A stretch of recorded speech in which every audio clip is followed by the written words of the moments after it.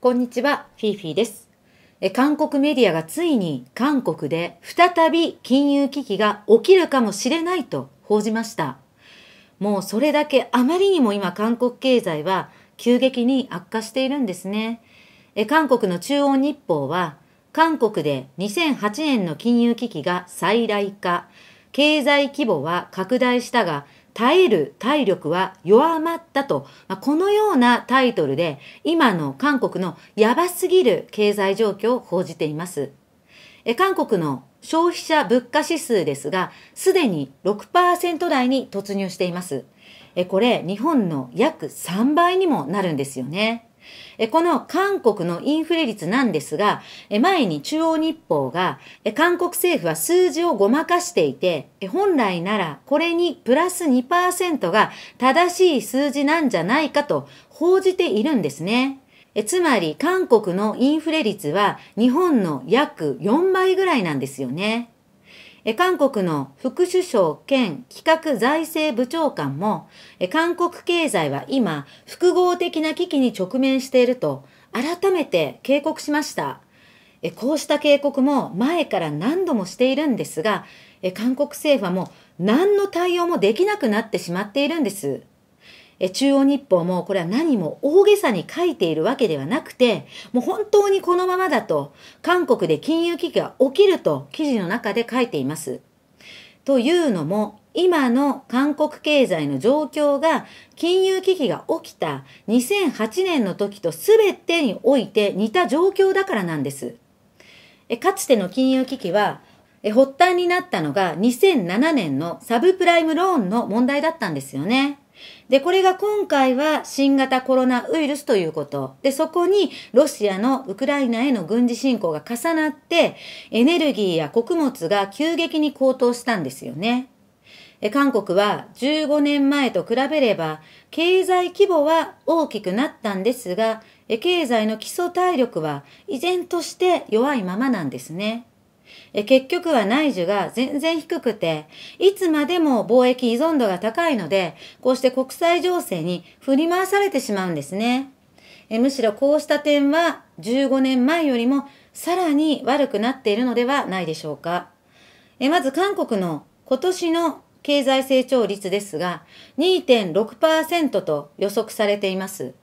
これ、金融危機が起きた2008年の3%よりも低い数字なんですね。まあ、日本やアメリカのように、まあ、成長しきった国ではないので、本来韓国は今も大きく成長を続けなければいけない国なんですが、今後は成長が見込めないと言われています。経済成長率が徐々に下がっていくんですね。また先ほども言いましたが、韓国のインフレが深刻なんです。先月、韓国の副首相が6月または7月から8月には韓国のインフレ率が6%台になるだろうと話していましたが、まあ、その通りになっているんですね。これも2008年7月に記録した5.9%より高い値になっているんです。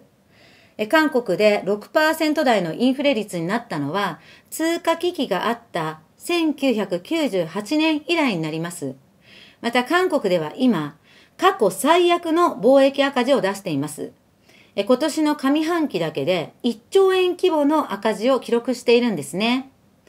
韓国経済はかなり中国との貿易に頼っているんですけれども、こちらも最悪で、対中貿易も1994年の8月以来初めて赤字を出しています。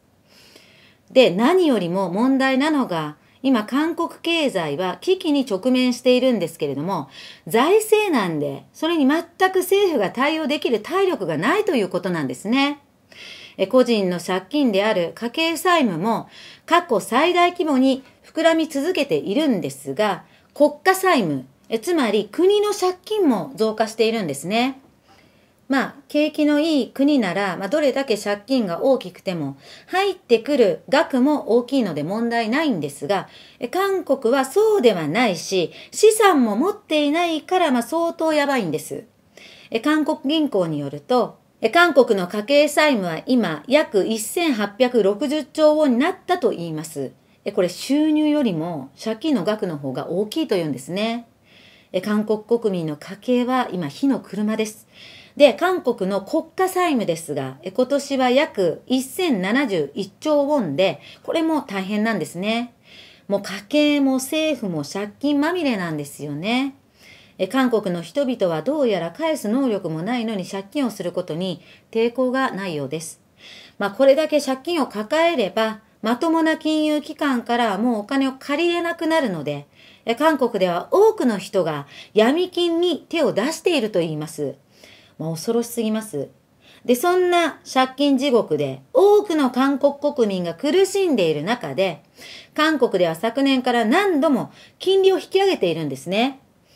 金利上昇が国民、そして企業の経営に大きなダメージを与えています。あとは、ウォン安も止まりません。1ドル1300ウォンを突破してしまいました。もうこれ本当に冗談じゃなくて、近いうちに韓国で金融危機が起きると、もう韓国メディアが積極的に報じているんですよね。まあ、本当に最近韓国メディアが躊躇なく、韓国経済がやばいことになっているという記事を書いているんです。まあこんな状況ですから、投資家が韓国の株式市場から離れているんです。アメリカの金利引き上げと世界経済の混乱が影響して、今年だけでコスピ指数が20%以上も急落しているんですよね。えコスピとは韓国総合株価指数のことです。ソウル株式市場の代表的な株価指数で、1980年の時価総額を基準値の100としています。6月の30日の時点でコスピは昨年末よりなんと約22%も急落しています。他の主要国を見比べてみても、もうここまで株価が大暴落している韓国は異常なんですよね。あと、まだ韓国経済、上げればキリがないほど悪いニュースが満載なんですが、中でも最新の情報として紹介をしておきたいのが、韓国の外貨準備高の減少なんです。こちらもやばいんですよね。ウォン安が進んだことで韓国政府が直接市場に介入しているんです。で、そのために6月の韓国の外貨準備高が約94億ドルも減ったというニュースがありました。またアメリカの FRB が続けて金利を引き上げていることで、韓国の外貨準備高は3月から6月まで4ヶ月連続で減少しているんです。韓国はついこの間まで外貨準備高が過去最高になったなんてことを言っていましたが、これアメリカや日本がコロナ禍で世界経済を支えるために異次元の金融緩和を行っていたからなんですよね。韓国の外貨準備高のほとんどはすぐに使えるドルではなくて有価証券などですから、まあ、こうしたアメリカの動きで価値が変動してしまうんですね。まあ、つまり韓国の外貨準備高の内訳を見れば、韓国が外貨準備高が過去最高になったと言っていた時ですら、ドル不足には変わりはなかったということなんです。まあ、つまりこのように韓国がドルを持っていないことが投資家にバレているのと、あとアメリカと日本から支援をしてもらえないから、投資家が強気でウォンを売りまくっているということなんです。もうこうなると韓国政府が頼れるのは日本しかいないんですよね。もうわらをもすがる思いだと思います。え韓国政府はドル不足でえ、こうした状況に何の対応もできずにいるんですよね。で、このままでは金融危機が起きるかもしれないわけです。しかし日本政府は徴用工などの問題を韓国側が解決するような姿勢を見せない限り、韓国とは交渉しないという厳しい姿勢を今のところ崩してはいません。ただ、韓国政府はこれを解決したくても、韓国の反日が邪魔して、韓国国内では政府が解決策をいろいろ提案するものの、ずっと揉めているんですよね。で、こんなことをしている間に韓国経済が潰れてしまうと焦っているのが、え韓国の経済界なんです。政府間の交渉なんて待っていられないということで、韓国の経済界が動き出しました。日本の経団連と韓国の経済団体が3年ぶりに緊急で会合を開いたんですね。冷え込んでいる日韓関係を改善するためにも、民間が積極的な役割を果たす必要があると訴えたんです。まあ、ノージャパンとか反日なんてやっている場合ではないということを、韓国の経済界は分かっていますよね。日本の経団連と韓国の経済団体である全経連は、これまでほぼ毎年日本と韓国で交互に会合を開催していたんですが、2019年を最後に中断していたんですね。で、これを今年の7月の4日、ソウルで3年ぶりに再開させたんです。え韓国の経済団体の会長は、日本と韓国の両国は協力する間柄だ。経済の連携を強め、悪化した両国関係を早く正常化しなければならない。首脳会談が早く開かれ、両国の経済的な問題が解決されることを期待すると、まあ、こう話していたんですね。まあ、こうは言っていますけど、まあ、要するに韓国の経済を助けてくださいと、日本にすがりついているわけですね。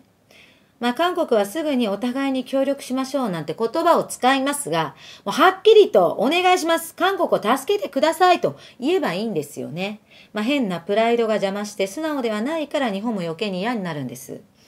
しかもこれまで日本は韓国を経済支援してきましたが、もう感謝の気持ちもなく、逆に恩をあだで返して反日をしまくっていたんですよね。韓国は根本から変わる必要があると思います。まあ、そのためにはもう一度金融危機にでもなって、自分たちの置かれている状況としっかり向き合う必要があると思います。